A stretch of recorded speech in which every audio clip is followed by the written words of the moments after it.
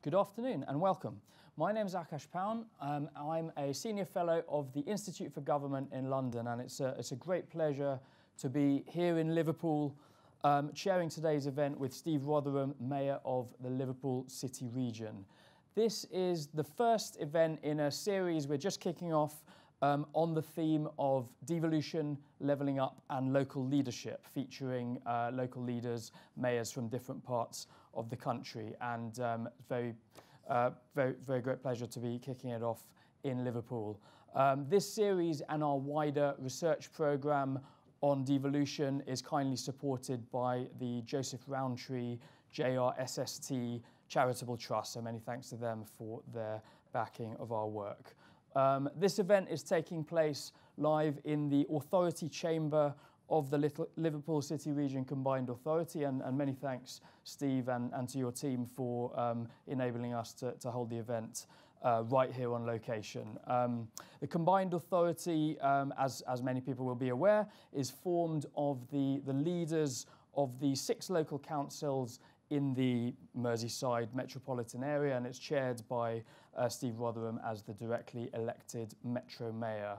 Uh, Steve was first elected to that role in 2017 when it was that the post was created as part of a devolution deal that transferred a set of uh, powers from Whitehall, particularly over uh, transport, regeneration, skills, housing, um, related uh, functions particularly around um, economic, uh, economic powers primarily. And then Steve was uh, re-elected uh, nearly a year ago now to a second four-year term. Um, prior to that, um, Steve, you were an MP, and before that you were, um, for a while, I think, Lord Mayor of uh, Liverpool City, which is a different kind of mayor to, to, to your role now, of course. Um, Liverpool City also has a directly elected council mayor, just to add to the slight confusion, um, which and we'll, we'll, come on to actually um, exactly the, the, the, specific functions that um, you carry out. So uh, we've got nearly an hour for this event. Um, I'm going to be putting a series of questions um, to Steve uh, about his role, his priorities, the levelling up agenda in particular, how he is or perhaps would like to be working in partnership with central government on uh, improving the economic and, and, social prospects of the region um, and also what you see as the, the future of, of devolution. Um, very keen to leave a good amount of time for questions. Um, we have, I think, a, a good sized live audience uh, watching um, online. So anyone who is watching our live stream, you can submit questions using the Q&A function, which should be visible on screen. Uh, you can also upvote uh, people's questions that you, you're particularly keen for me to, to, to put to Steve. And in the spirit of direct democracy, I'll, I'll try to pick the most popular ones. Um, and uh, after two years of mainly doing events via Zoom, it's, it's great to have a, a live audience with us as well. So, so welcome. Thank you to everybody who's, who's joined us today. Um, and um, I'll certainly be taking some questions from, from the floor as well. Um, so just a couple of other quick uh, things to flag. So we will be live tweeting the event from the IFG Events Twitter account using the hashtag IFGDevo if anyone wants to um, engage on social media.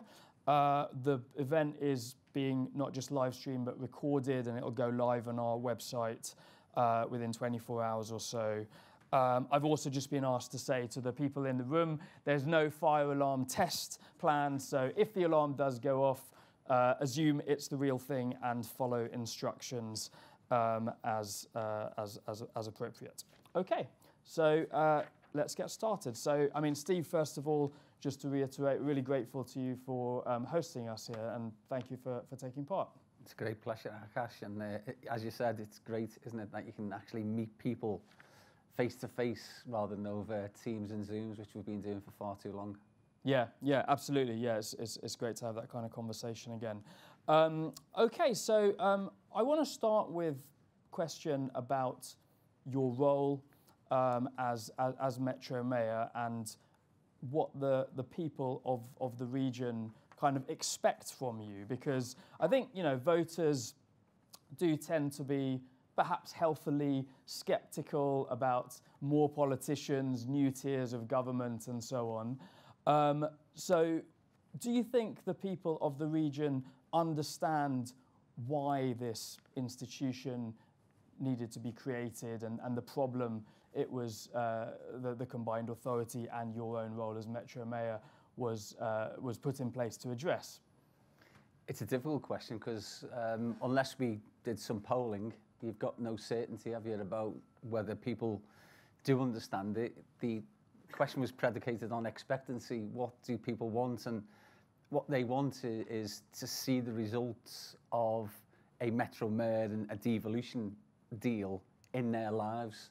And that's going to take several years more um, because people want to see change, quite rightly so, by the way. We didn't um, go down this venture as a city region just to have the status quo or, or to do things as a sort of business as usual type way. We wanted to do it because we genuinely believe that we can take decisions and make decisions here that are more pertinent to people's lives who live here mm. and we can respond much more quickly because we are nimble as an organisation rather than a monolith of government deciding those things for us.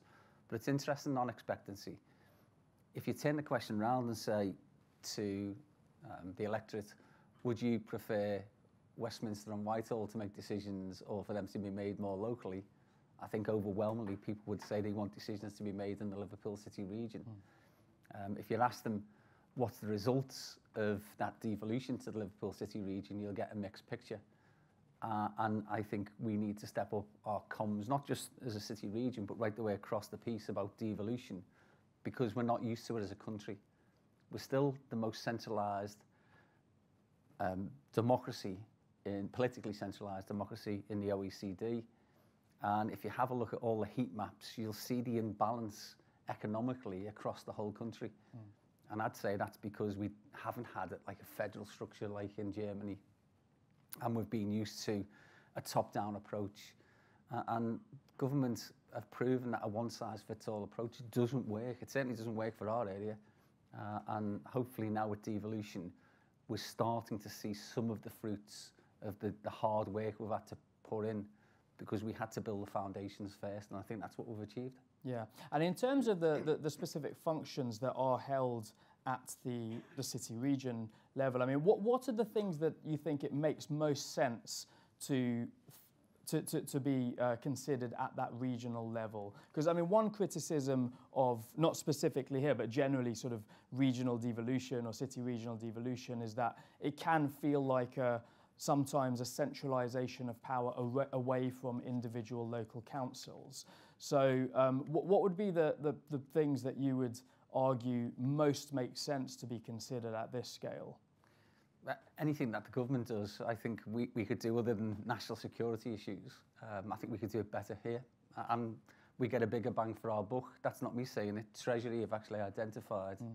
through the funding methodologies that we get a greater return for UK PLC than government doing it for us. So uh, I'd say I'd take almost anything in all honesty, um, other than those big um, national or, or, or pan-global issues that we can't possibly deal with on our own climate emergency. We'll do our bit here, mm. but it has to be a national strategy. But I'll, I'll give an example on, on transport. Um, there's no national government that would have said, okay, well, we'll buy the trains but we're buying our trains, half a billion pounds worth of brand new rolling stock. They're owned by the people. And what I want is to change the culture of the way in which public transport operates. So it's not just having nice fancy trains, by the way, that are the most accessible in the whole country. They, they come absolutely in line um, with the, the platform. So there's no gap, there's no step. And we're doing that because we want to attract people who've been put off public transport because of accessibility issues. But we, we want to do these things to change behaviours and cultures because when I was an MP, I used to come out the House of Commons and I'd turn left because I lived down in Pimlico. And outside the bus, where the bus stop was, there'd be lords and, you know, politicians, you know, MPs and all that sort of stuff. And there'd be the cleaners and all the important people who do the real work in, in Parliament. But they'd all be queuing together. You don't really see that socio-economic demographic using public transport outside of London. And certainly not in the Liverpool City region. But we're changing that. If you have a look at how we attracted young people to start using it, because if, if they use public transport, there isn't the reliance on the car. We can tackle climate emergency issues. There's really poor air quality in some of our areas, etc., etc. Mm. But we can do that. Government wouldn't have done that before uh, for us. Mm-hmm. Yeah, and I know uh, transport is, is, is one of your, your main priorities, and I, I, I want to come back to that in a minute. Um, in terms of the overall um, budget uh, that you that you control, it's it's it's in the region of um, a little under 600 million, I think.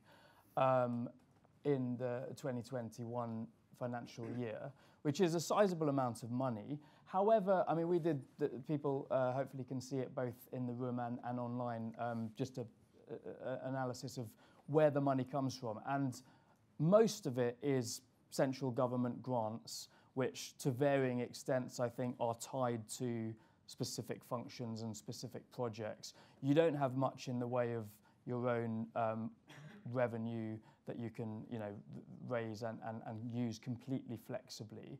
Mm. Um, so I just wonder, um, I mean, overall, do you feel you have the, the degree of spending autonomy that, that you need, or, or is it rather that in many cases you're, you're, you're tied to the delivery of centrally set priorities? I think we have more decentralisation than um, what we should have, which is proper devolution. Mm.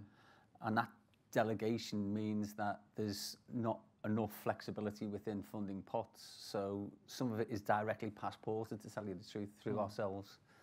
And then we, we use it within the parameters that government um, require us to and through our assurance framework. So that constrains the, uh, the innovation because what we try to do with the pots that we do get is to use it differently. It's no good just doing the same thing that government would have done because there's no point in having a, a devolved authority. And yeah, that, that's a bit of a frustration in all honesty. Uh, if we had more flexibility, I think we could do more. And when I had the German ambassador upstairs uh, in this building, um, he was genuinely surprised that we didn't have a single pot and then it'd be for us as a regional government to decide on how we spent that. Um, he didn't fully appreciate um, originally that lots of that stuff is for specific things and the government decide what those specific things are. Yeah, yeah. Well, and we'll, we'll, we'll come on to the, the potential scope for further devolution and what the government is seems to be saying it's in favour of as, as part of the levelling up agenda in, in, in a few minutes. Um, but I mean, in terms of powers that you, you, you do have, um, you've been in post five years. Um, you are trying to tackle deep set economic uh, issues, improving productivity and infrastructure and the transport system and so on. Um, is it therefore too soon to, for, for people to really notice the difference, or are there concrete things that you would point to to show to, that, that you think show why devolution really does work and is already starting to improve people's lives here? In all of our six local authority areas, there are projects, there's at least one, but there are several um, projects that we can point to and say that has come about as a direct result of devolution, of not, not necessarily me, mm. but having a Metro Mayor, having that single voice, having somebody who's responsible really to, um, to articulate the concerns of those areas at a governmental le level, a bit like London have had with three mayors, haven't they, over the last 30 year period or whatever. Um, and so if it's been good enough for London to have that one voice, why wouldn't it be right for, for areas like ourselves to have that one voice? And, um, yeah, I think people are starting to see some of the, the genuine hard work that goes into getting some of these long-term projects delivered. And there's one in St Helens called Parkside, which has been on the books for donkey's years. Well, it's breaking ground. It's, it's happening now. Mm-hmm. Uh, yesterday, I was at uh, one of our new stations called Headbolt Lane. That's happening now. If you have a look at what Sefton are trying to do on two huge projects there, they can't do that without the assistance of ourselves. Uh, over on the, uh, what's called left bank, over on the Wirral, um, on Wirral Waters, again, as a direct result. And then you've probably come through Runcorn on the train. Mm-hmm. If you were to get off at Runcorn, you'll see the enormity of the, the development there in something called the Runcorn Station Quarter. Government wouldn't have, have took the, the chance on these things. Now, when I say chance, I don't want people to say, you know, is it, um, you know, a risk too far? They're not. They're, they have to be balanced, and they're all very, you know, thoroughly looked at, and, and due diligence is carried out. But then working with the local authorities, collectively we've been able to do that, and it is about collaboration. A- And look at, you know, I, I call the government out when I need to, but sometimes the governments have, have been a conduit for us to get some of that funding locally hmm. because they've trusted in what we were saying and what we can deliver on behalf of UK PLC. Not just about give us some money. This is ensuring that there's economic return for the whole country. Yeah, yeah, and um, on um, on transport specifically, um, which is, I mean, as as those figures show, and as you already said, kind of a, key- priority for you and and the region. I mean, you've spoken a lot about the, need for the region to have a, a London-style transport system. I, I, I think is the phrase. Um, so I just wonder what you think it's going to take to to reach that objective. I mean, how much of this is just about more money in your view? Is it about more powers and joining up things more effectively? Um, and just by way of context, um, I've just got a second chart which shows um, spending on transport per person across the region and we have the figures for the northwest region because they aren't they aren't actually broken down at a at a, a lower level than that. But clearly from that chart, London does get a higher amount of spending on transport. You know, there's arguably just things do cost more in in London. Northwest is sort of in the middle um, in, in in terms of spending, higher than some places. Clearly from the chart. So. I just wonder what, what you think it, it really is going to take over the, the coming years to, to reach that objective that you have. I don't think we can reach many of our targets outside of trying to attract people onto public transport without the need for a properly London-style integrated transport system. So climate emergency. Um, about a third of our emissions are from public transport, from transport rather. So unless we can attract more people onto a genuine quality alternative to jumping in the car, we're, we're going to fail. And we're not, we won't fail here. I just told you we- we've invested half a billion pounds into rolling stock. on Friday in this very chamber, we made the decision to re-regulate re our buses. And again, that's five years painstaking work because the Act of Parliament, the Bus Services Act 2017, is almost impenetrable in, in parts. I think it was genuinely constructed to make it very difficult to re-regulate buses, but we've got through it. And I've met with our major bus operators, mm. and, and they've said they'll accept the outcome of our decision. Um, so hopefully we're not going to face a judicial review like Greater Manchester. Yeah, so that I mean the, the, the, the result of the judgment from that is is due today, I Today. believe. Um, as far as I know, it hasn't hasn't been published yet. So are you not concerned then that anything similar will happen now, based on conversations you've had with the bus companies?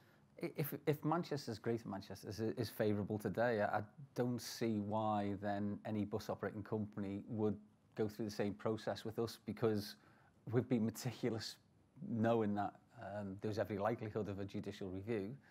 Uh, and ours, um, at every single stage, we've consulted. So I don't think it's the same circumstances that Greater Manchester um, foresaw when they were going through. So I, I genuinely can't see that our bus operating companies would be anything other than wanting to work with us to deliver our option. Mm. And, and from your perspective, re-regulation, franchising the buses is crucial because, as you're saying, it's going to enable you to create a more integrated transport system overall with, with smart ticketing, ticketing and so on. Is that the Yeah. is that the key win from from it for you? Well, I think the key win is if you can get public transport right, you connect people with opportunity. Mm. So it's not just people to people, that's really important, you know, the, the, the day-to-day lives.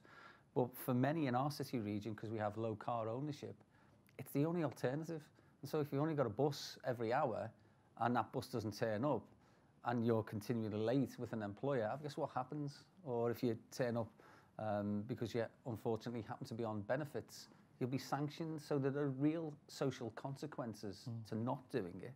But we want to do it because genuinely, when I, when I was uh, the MP for Liverpool Walton, I, I'd, I'd, you'd get off at Li- uh, get on at Lime Street, get off at Euston. I never ever looked at a timetable. I, I knew that if I missed the tube, there's one two minutes later, three minutes later at the most, and there's a queue of red buses outside taking you all over the place.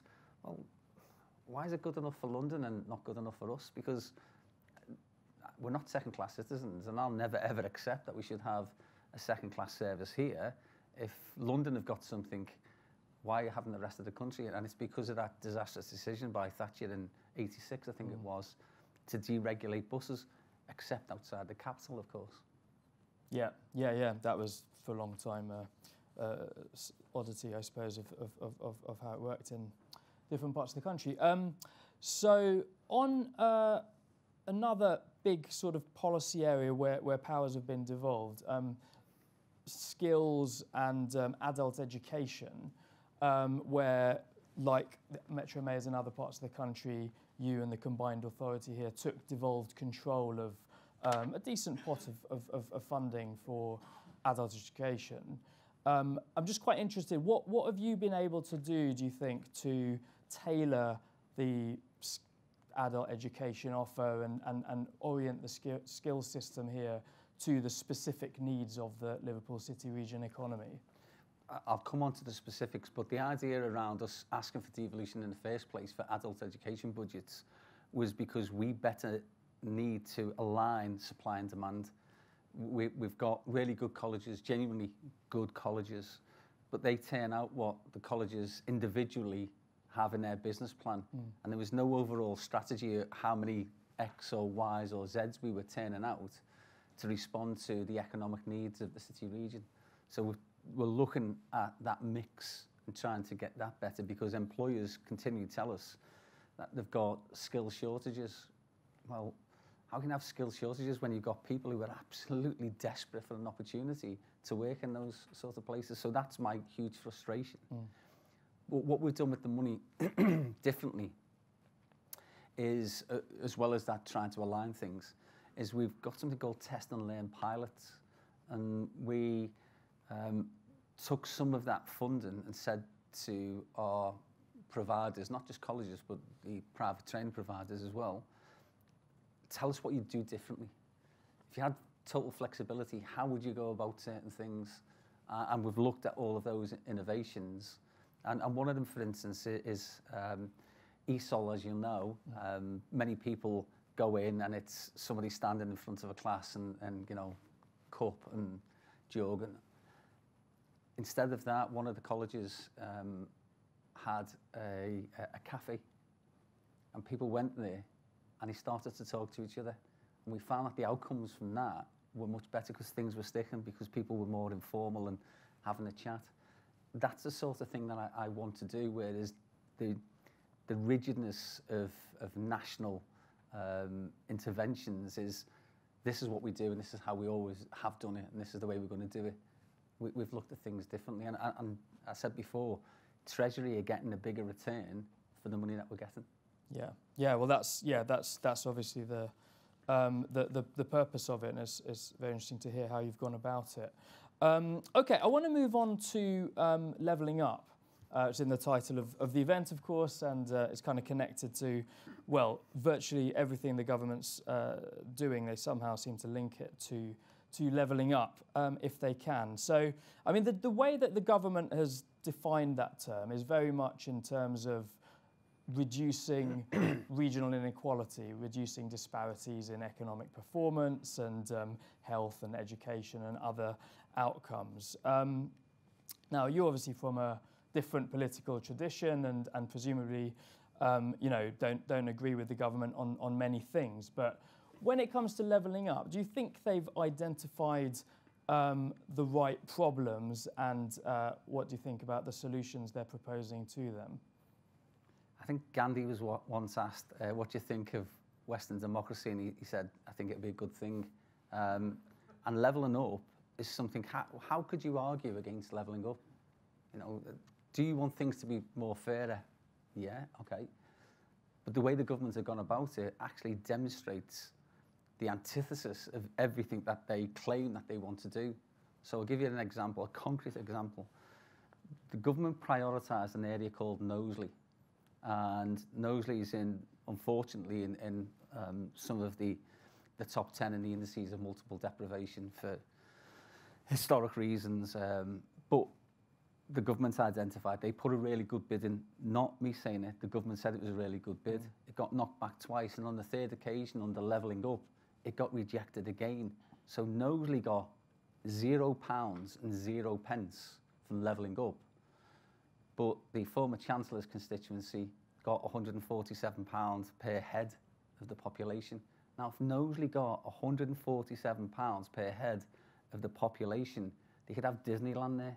It's, it could be absolutely transformed. It's just a huge sum of money per person. And he got nothing. And all they wanted to do initially was to breathe new life back into the town centre, into mm. Town Centre. Now, I'll give you the, uh, the opposite of that approach by central government. Kirkby Town Centre, so I was born in a place called Kirkby. Kirkby uh, hasn't had a supermarket for 34 years, and the town, the town it's called, the town centre, um, was really past its, uh, its best days, shall we say. and they needed something and, and the, the private sector had let them down year after year, decade after decade, promising all sorts of things, never delivered. Myself and Councillor Graham Morgan, who's the leader of the council there, and um, the officials and, and the people in this building came up with a, a plan which very, very quickly then we could fund. It was went through all of the business planning processes and it's there. If you go now, you'll see an absolutely transformed, regenerative um, uh, Kirkby Town Centre. Mm. Um, and the people can actually see the benefits of the combined authority. That's because we genuinely do believe in levelling up and the, the new stations there. And if you have a look in, in uh, Prescot, um, the new Shakespeare North Playhouse is being built, not in the future, it's going to be opening later this year. So there are tangible benefits of us doing things because we can respond more quickly than national government. Mm.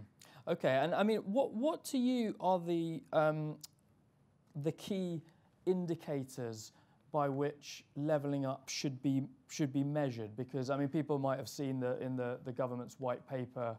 Um, there's quite a lot of uh, well, there's 12 missions that the government set itself by, to, to, meet by 2030. Underpinning those missions, there's, I think, around 40 different performance indicators. Um, I think they're talking about developing e even more. So, from your perspective, um, what are the key things that um, you really want to see improve in the Liverpool City region? And uh, before I actually leave you to answer that question, I just wanted to call up a couple of charts on what I think are some of the, the, the key sort of things the government is keen to um, improve. Um, but it might be that you think we should be focusing on other things. So, I mean, first of all, this is analysis of the employment rate, and, and clearly levelling up is, is about job creation. Um, the pink is, is Liverpool City region, uh, the yellow is Greater London, the blue is the UK. Um, that shows that employment rate is, is obviously below the average in, in this region, but it, from that graph seems to have, have closed the gap over that period, uh, which, which is presumably good news. Um, in terms of skills, NVQ3 um, qualifications, um, again, that there is clearly that gap between the region and, and the national average. And, and here you can see, of course, London is, is quite a long way ahead um, though there's been sort of improvement across the piece um, to some extent. And then thirdly, um, and probably more starkly on labour productivity, um, the, the figures suggest that over this period um, there's been a disparity all the way through and, and if anything there's been sort of a, a flat line in the region. So um, my question is, as I say, well, are those the most relevant indicators first of all?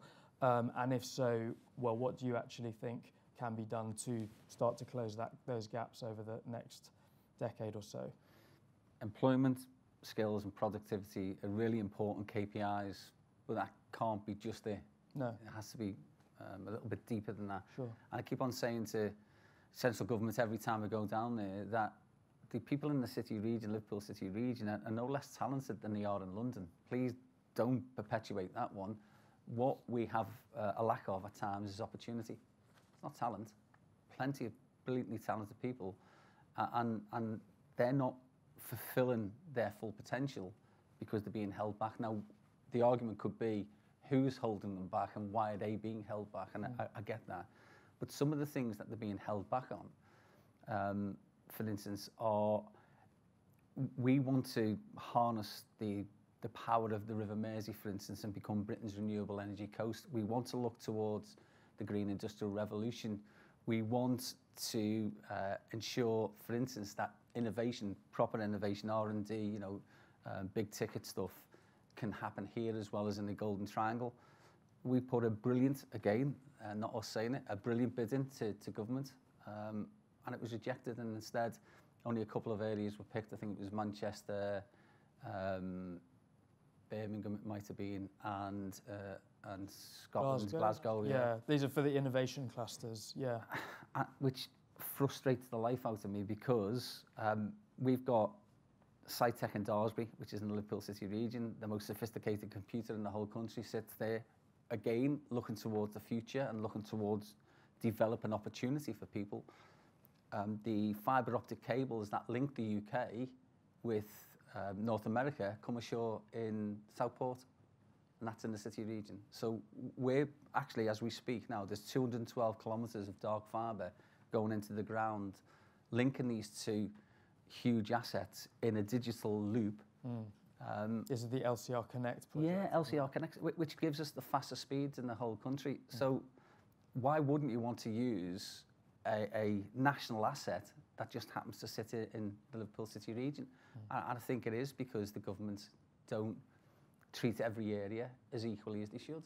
Um, areas like ours, for far too long, have been shelved because there have been other areas that have been uh, pet areas. Uh, and that's why we try to change the relationship with national government. When we had the pandemic, mm. it was Liverpool and the Liverpool City region that were the national test pilot for, you know, for um, the transmission. When we were coming out of lockdown, it was us who did the, the mass uh, participation events. That was Liverpool City region again we, we need to change that dynamic, but the government needs to show goodwill as well. And when you've got a brilliant bid, which ours was, and it's rejected, then it's no good saying, ah, well, there'll be another chance later on. They needed to, to mm -hmm. put mm-hmm. that one in because all of those projects, National Pandemic Institute, uh, National uh, Packaging Innovation Centre, trying to change the world with um, the packaging that we currently have, which single-use plastic and all of those microplastics that end up in, in the watercourses and in, in the rivers and oceans, we could do something here. Yeah. So even if they hadn't liked the full package, why not pick out some winners from what we had and say, we can't do the whole lot, but here's an opportunity for you to demonstrate how good you are, because we would have and we would have smashed it. Mm-hmm. Yeah, well, I mean, that was one specific thing that um, as you say, some areas were, were, were, were kind of picked over yours. Um, there was also the announcement in the in the Levelling Up white paper of further what they what they've called trailblazer devolution deals again for Greater Manchester and, and, and West Midlands. Um, were you uh, disappointed not to be chosen for, for one of those additional deals as well, and um, what if you were to um, be engaged in another round of devolution, uh, another devolution deal negotiation, what specifically would you be looking for in terms of further powers from the centre? I wasn't surprised that we weren't. Um, in all honesty, let's have a look at Greater Manchester. They've had the Association of Greater Manchester Authorities, so they've worked collaboratively for 30, 40 years. And they've got a track record, haven't they? And, and so that's what we need to do. Mm. Um, when people ask me why have they got a tram and we haven't, well, we were ahead with the tram. We actually had the plans for the tram. We bought the rails for the tram, and our local authorities couldn't work together. So theirs have, um, whilst there'll always be an element of competition, mm. we need to work in collaboration when, when these big things come um, to us. So I wasn't surprised that uh, Manchester were in it.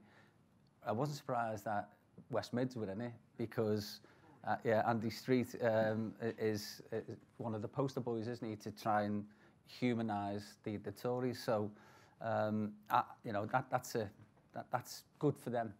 And I'm not jealous or envious of, of, their success. I, I get disappointed if I don't believe we're being treated fairly.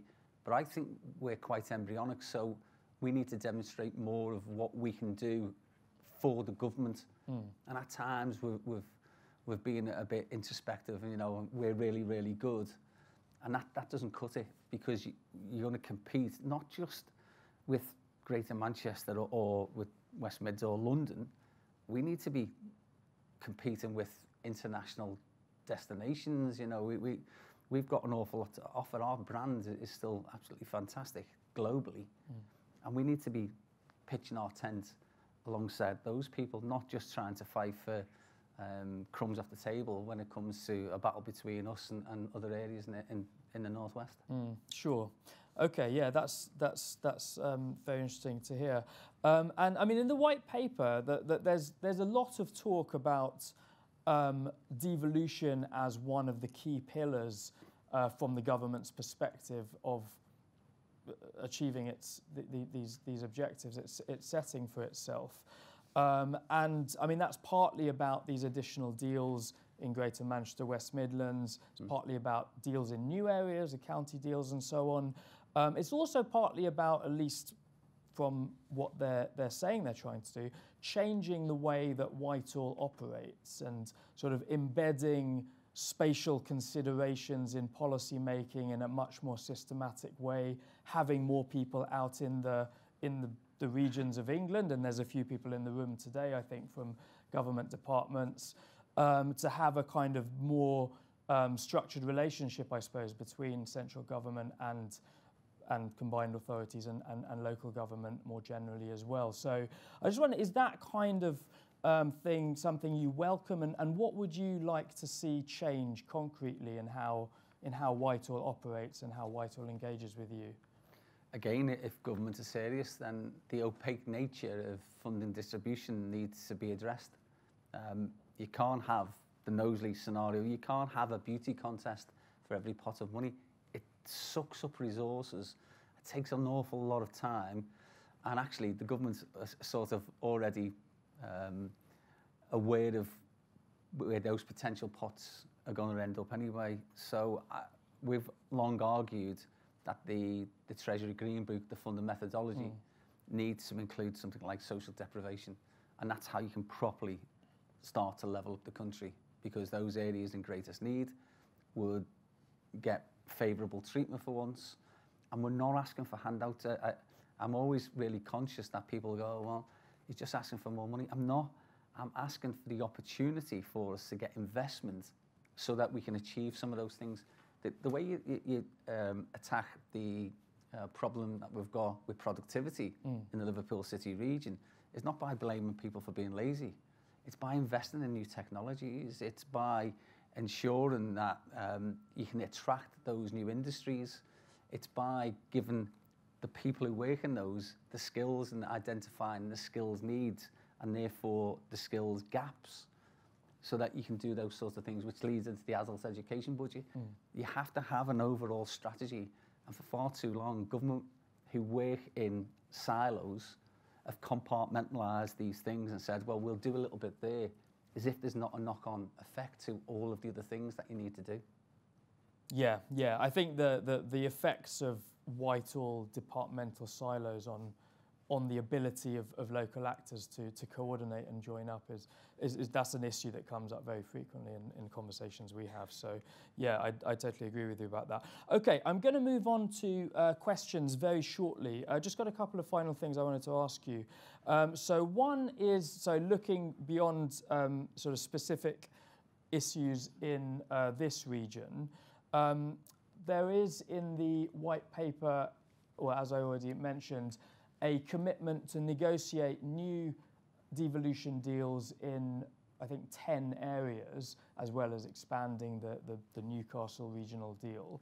So this map, for people who, who, who, who can see it, shows the blue areas being where devolution has already taken place to some extent, and the deals are all quite different in various ways.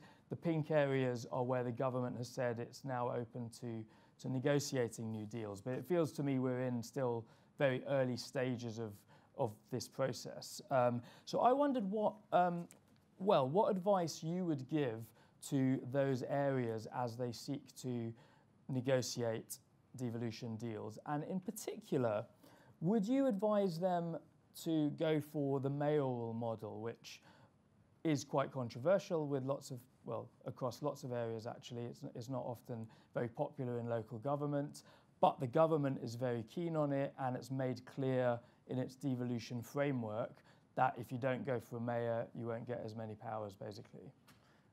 I'd, I'd say to those people who are in those pink areas, um, snap the government's hand off.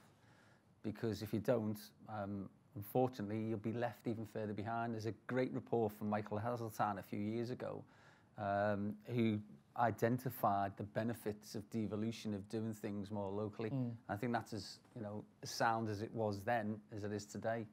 Um, on, on the mayoral issue, we're not used to mayors other than Lord Mayors. And you, you said about um, me being the Lord Mayor of Liverpool during um, 2008, the European Capital of Culture.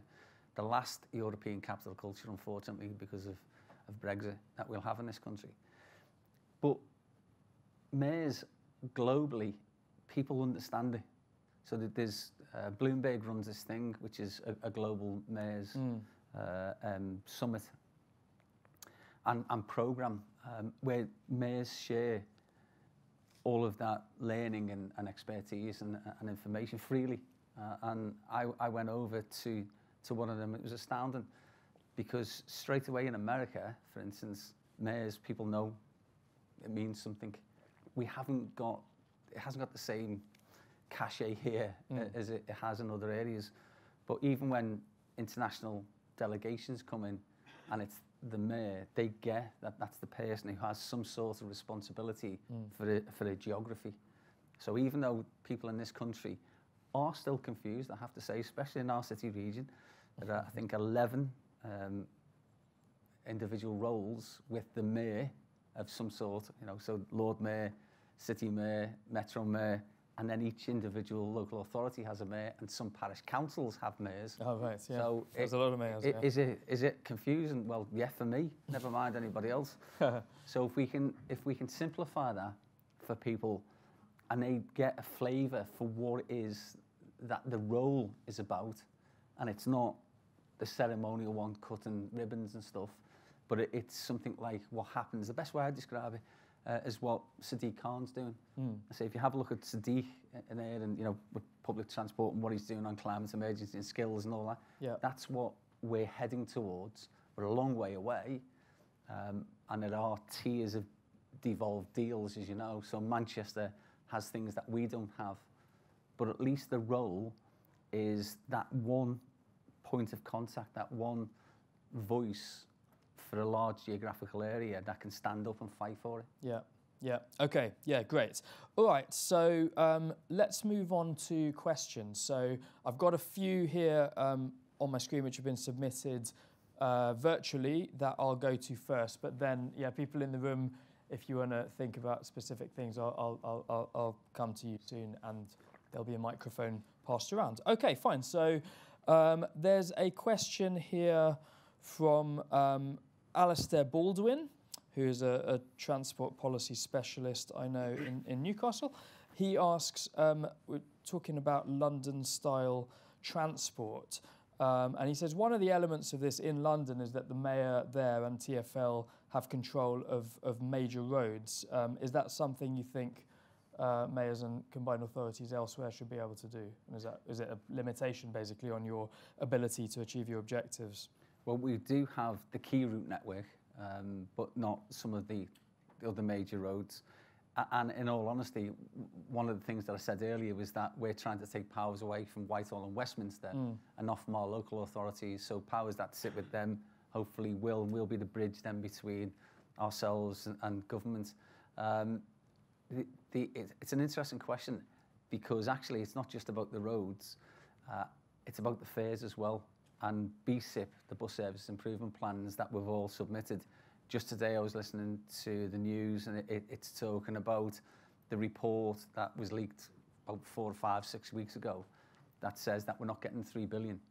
We're going to get 1.2 billion. If we get 1.2 billion, then we're never ever going to be able to level up with London because their subsidies mean that bus fares there are about 150, I think, if you get on, on the bus in London, and ours are, you know, three and four pounds per individual journey. There's a capped, there's an algorithm that's used with the smart ticket and that says that's the most that you'll use.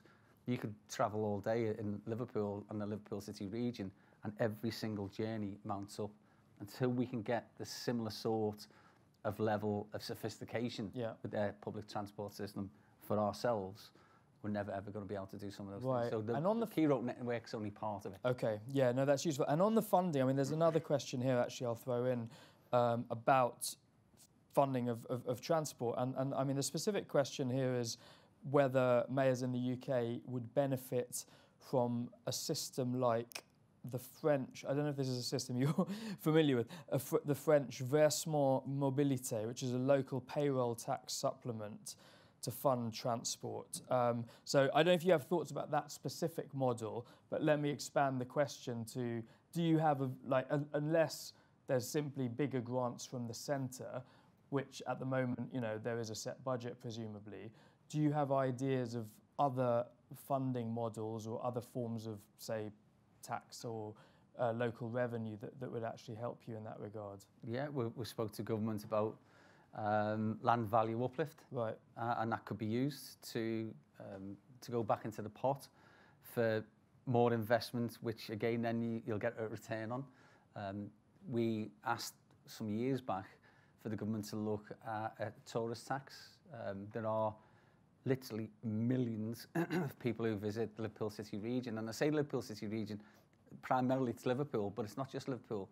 In a few weeks' time, there'll be the Grand National, and we call it the Liverpool Grand National. It's actually in Sefton. So um, we'll get people staying in Sefton and in hotels towards Southport, you know, Formby and Ainsdale. Not. Yeah. Um, so if we had something like that, and we have the golf, don't we, over in the Wirral, so uh, something uh, of that nature, yeah. and then we could reinvest that. So we're not just looking all, all the time at the quantum from central government. Yeah. I don't think it's fair that what we get from central government, that's a different argument what can we do for ourselves? And we're always looking at where do we need to change what we're doing so that we can maximise the benefits. Yeah, yeah, tourist tax is an interesting one. I know some of the other metro mayors are, have been looking at that as well. Well, um, Jamie, Jamie Driscoll's also looking at fiscal devolution, so if you have a look at his paper, it's really interesting. Yeah, he's leading some work for the group of uh, the M10 grouping, I believe, isn't he? Yeah, very interesting.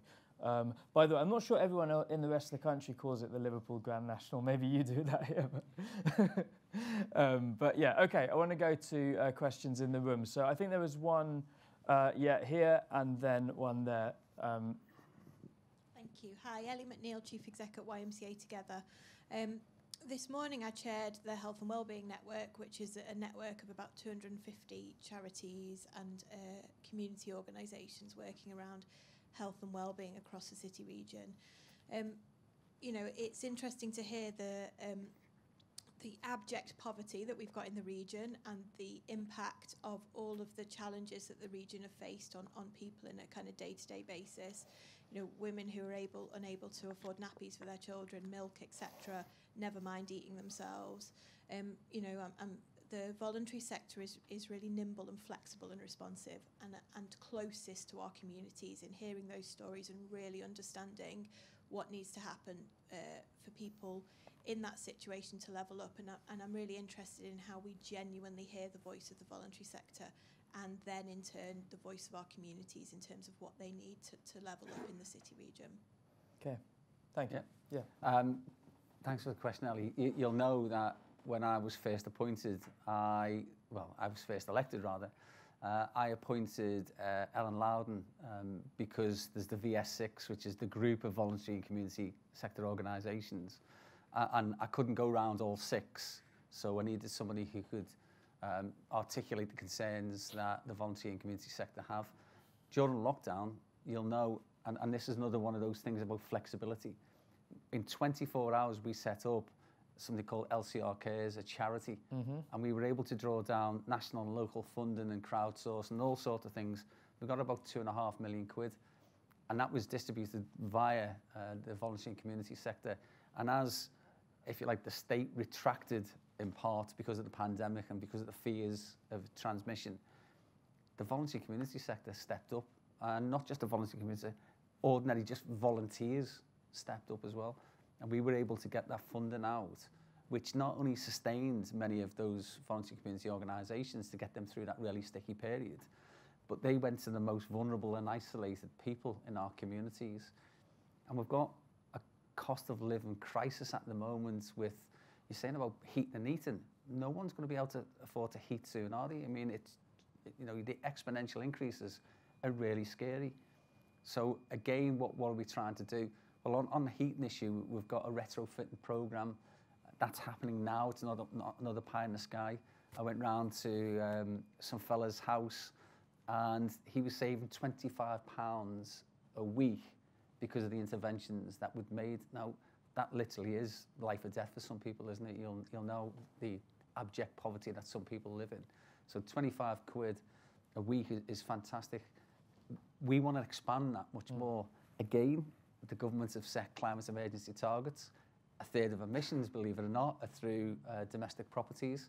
So we need to tackle that one as well. And you can have the win-win where the government achieves its targets. And of course, what we do is help some of the most vulnerable in our communities who, by the way, are paying uh, an energy premium because many of them, many of them are on um, card meters and you pay more per therm for a card meter than you do from a direct debit. Yeah. So we're doubly hitting these people who are the most vulnerable. So we are trying to, to look at it and I'd, I'd love to be able to, to speak to you about some of the great things that we're doing to level up that playing field. And the other thing is you'll know that socially trading organisations have put money into a pot as well to try and include them, whereas beforehand they could never ever bid in for some of those big pots of money.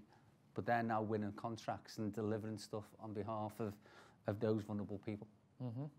Okay, great. So yeah, there's one more question here, and then oh, there's a few other hands. I'll bring in a couple of other people. Uh, maybe we'll take two, three questions at once, and then we can address them. We'll see if they're connected or not.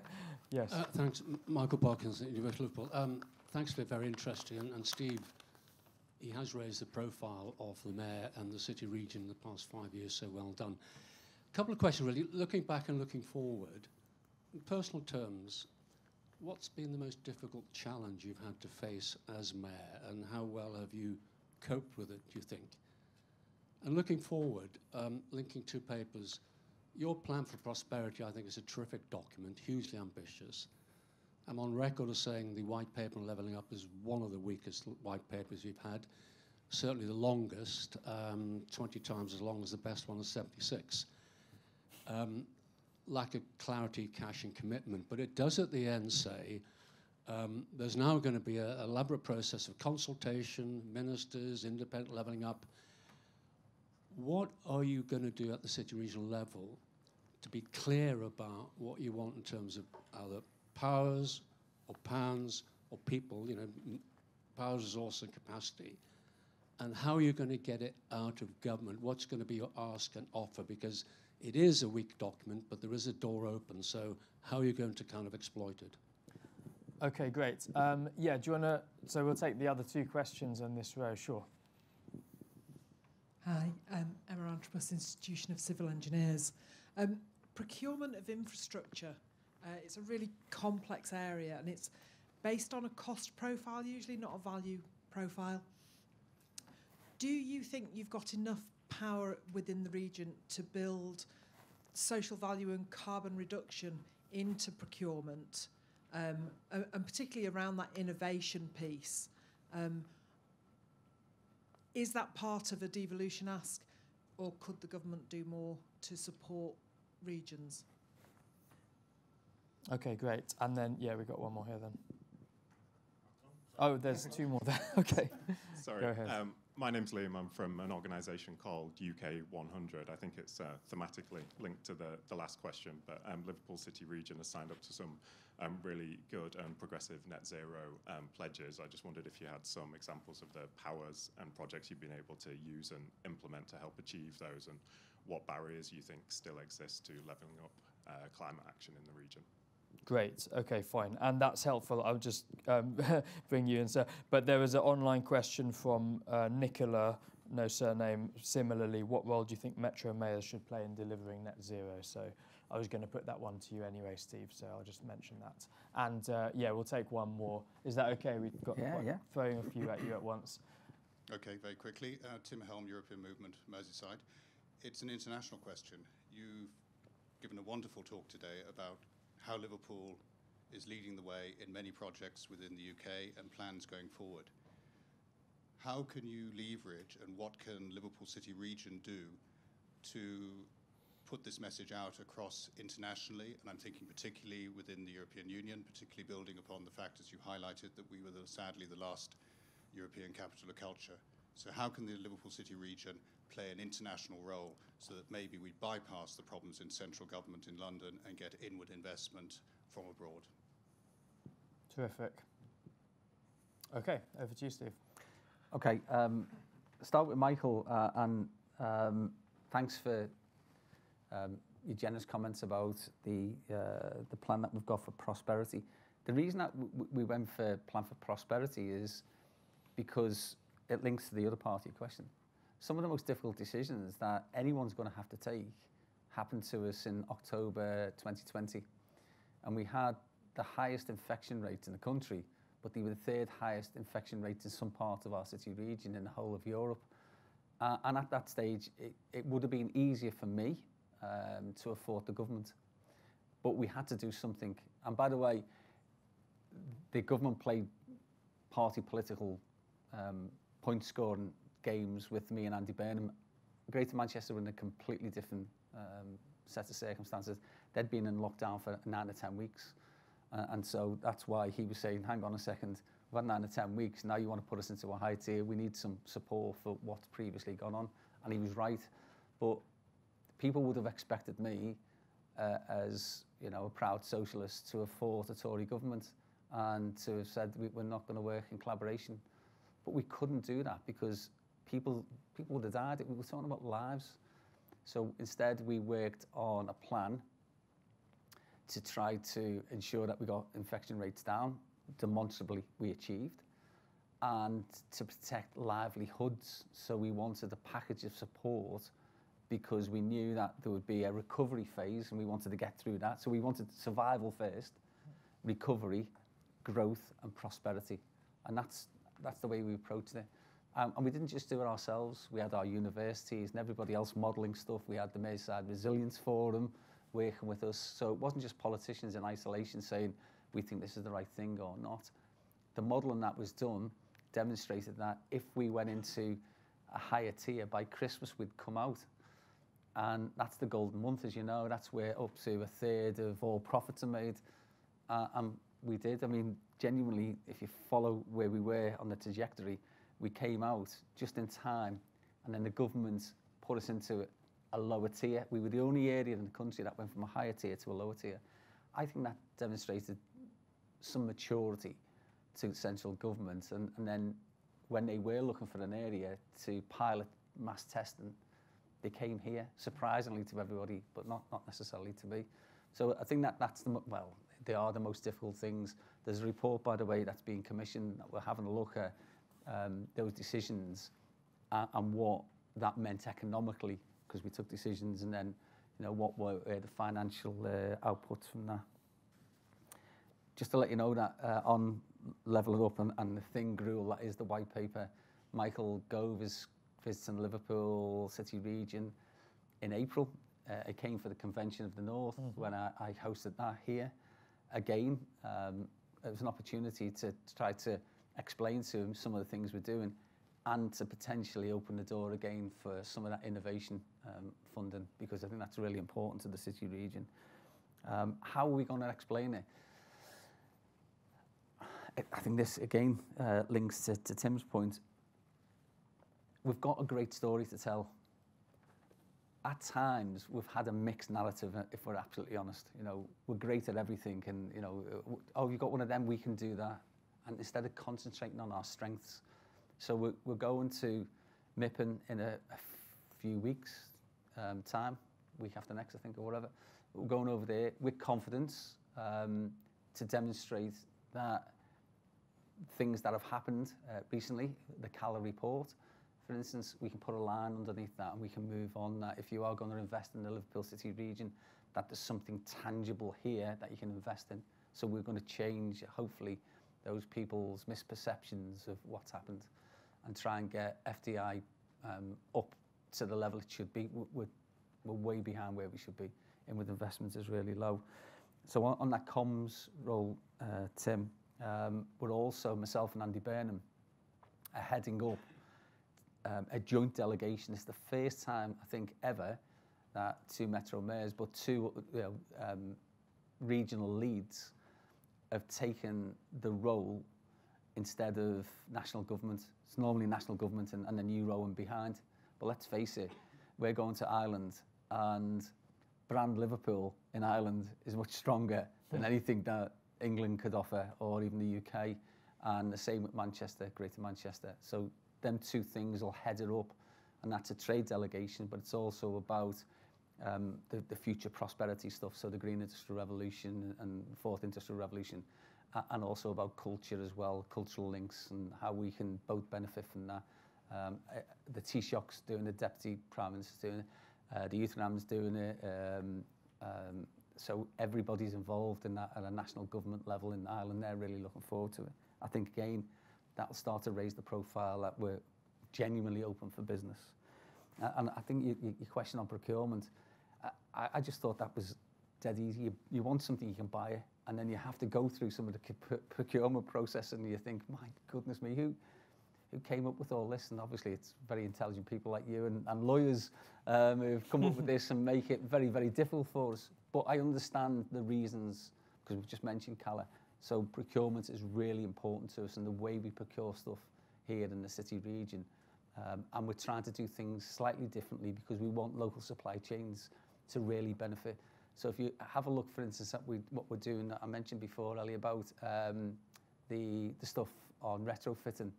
The first thing that we thought when there was a likelihood that there'd be a, a bidding war for a pot of money was to say, how can Liverpool companies benefit from that, people in the city region benefit from that?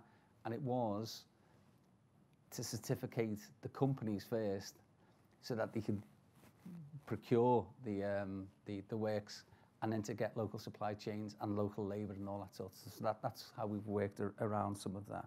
And then on um, Liam's point on UK 100 and um, net zero barriers and, and the, the question that mm. you've hmm. been asked there, um, we need another several hours because mm. Liverpool City region, I'd say, is miles ahead of anywhere in the country, anywhere else in the country. So you hear the northeast muted all the time. That's because Ben Houchen is a, is, is a Tory mayor in North East. Good on him, but they're nowhere near what we're doing on, for instance, on hydrogen. And there's a debate nationally and internationally about blue and grey and green hydrogen, but just park that one for a second. But on, on hydrogen, net in uh, the northwest, that can send us stratospheric. So what are we doing? Well, we're starting to build the infrastructure so that hopefully if we can harness the power of the River Mersey uh, and turn that into uh, renewable energy, part of it through electrolysis or hydrolysis or whatever, we'll get green hydrogen. So that's the big prize for us to get green hydrogen. But it's no good waiting until that happens to do the infrastructure bit. So that's going in now with, with, with our hydrogen buses, which we'll have before the end of this year. There are uh, fueling stations that we're putting across the city region. And they will not be just able to be used for our buses, but we're hoping that new vehicles in the future that will be procured by our local authorities, they'll be able to use them other people will be able to, to use this. So we'll have a source for the energy and then we need to get the correct mix of the, the energy. And um, in industry, in heavy uh, energy intensive industries, we've just trialed the first uses of hydrogen in Pilkington. So it was a world first trial and it was 100% successful in Pilkington's glass. And not only content with that, uh, a few week, last week, I went over to Unilever and they trialled the second trial in the Liverpool City region and that was successful as well. So mm. we've now got a blueprint with something called Glass Futures, which is about those energy intensive industries, about decarbonisation. Transport, we're doing it. Domestic uh, gas supplies, we're looking at, at that. So on every measure, every indicator, we're miles ahead of anyone. And that's before we hopefully get to a business case stage in a few years for the River Mersey uh, to harness its power. Mm. But as gas prices go up, energy scheme. Yeah. as as gas prices are going up, mm. that's becoming more and more viable for us. And also, of course, it's secure and we haven't got to rely on, on a, a, a maniac despot, have we, to to get our, our gas. Yeah. You know, as long as the moon keeps turning, you're going to have. A we'll tide. be all right. Yeah. We'll be all right with the tides. Yeah, yeah. unless. Putin stops it all, of course. okay. Um, well, we are sadly out of time, but um, Steve, thanks so much for, for, for spending the time to, to talk through all that wide range of issues. It's been really interesting. Thank you all to uh, also to everybody who's joined online and um, in person. Um, as mentioned, this is the first in a series. We will be in Leeds um, on the 15th of March, so next Tuesday, with um, Tracy Brabin, Mayor of West Yorkshire. We'll then be in uh, Newcastle with uh, Jamie Driscoll on the 27th of April, and hopefully there'll be further such events uh, later in the spring and summer.